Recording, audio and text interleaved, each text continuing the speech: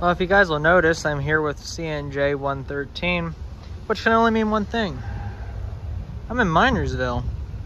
And that's because if we go to the other side of the station, that is,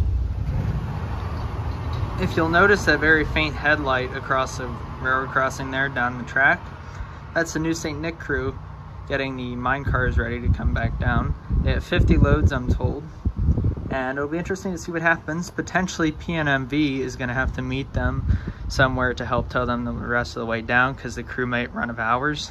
Uh, for those of you who don't know, a train crew can only run so many hours before they what's called outlawing. It's a law that I'm pretty sure nobody can work over 12 hours on the railroad or something like that. I'll do some research and correct myself if I'm wrong, but I believe that is the limit. So guys, stick around and let's see what happens.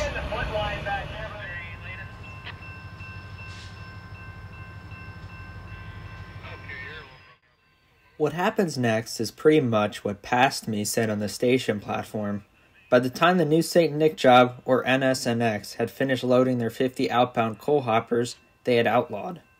The term outlaw sounds worse than what it really means, as it simply means that a train crew has reached the maximum number of hours that they're allowed to operate the movement of a train, which is 12 consecutive hours.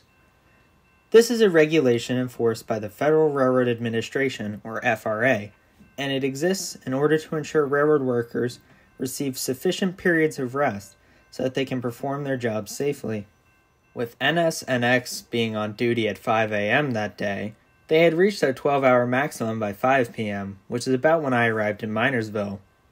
As a result, the crew had to let their train sit just north of the crossing and wait to be relieved by another crew. This relief crew would be brought up to Minersville by the same PNMV job from my last video of Reading and Northern Coal Trains of Schuylkill County.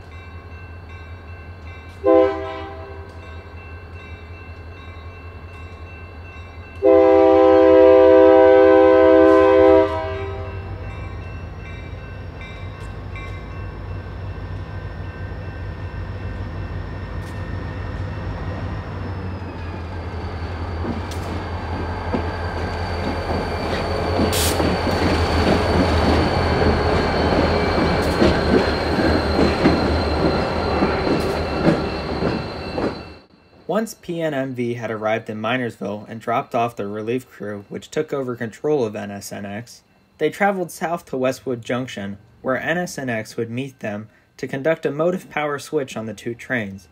I'll explain more once we get there.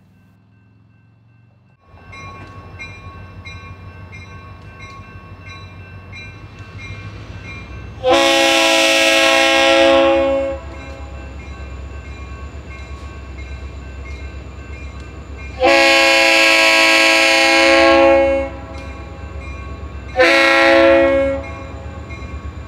Uh...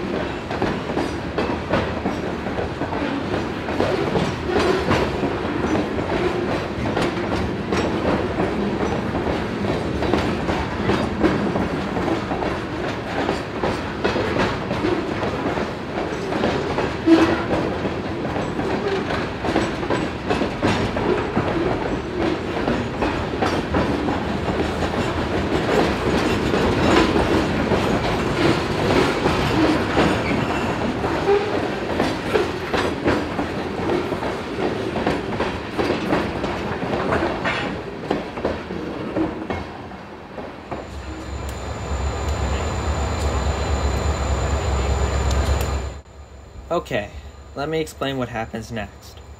Here you can see PNMV with 2530 and 3057 off on the branch running to Good Spring, Pennsylvania, as the NSNX arrives with 3053 in 2004.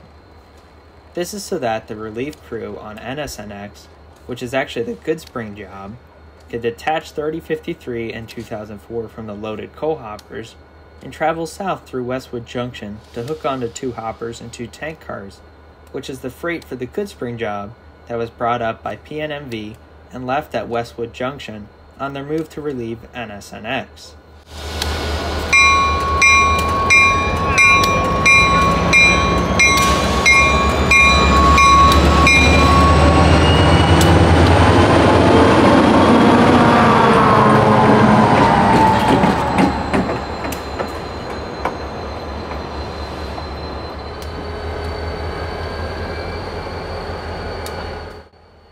The PNMV with 2530 and 3057 backed off the branch to Good Spring and onto the Minersville branch to move north to hook onto the coal cars brought down from NSNX.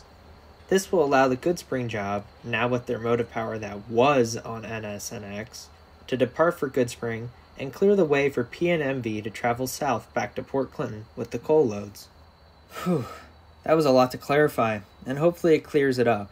The simple summary is that this was the easiest way to get the PNMV locomotives back to Port Clinton and to efficiently get motive power on the Goodspring job, as there were no other locomotives available in Cressona at the time. And, one final side note, the yard job of Port Clinton, or YJPN crew, was taxied into Westwood Junction by the railroad to take over PNMV, as the PNMV's crew was now approaching outlaw status. As a result, PNMV's crew was let off at the Beckville Road Railroad crossing, and the YJPN crew took the coal loads the rest of the way back to Port Clinton, which is where everything was tied down for the day. With all of that out of the way, please enjoy this pretty epic action on the Minersville branch.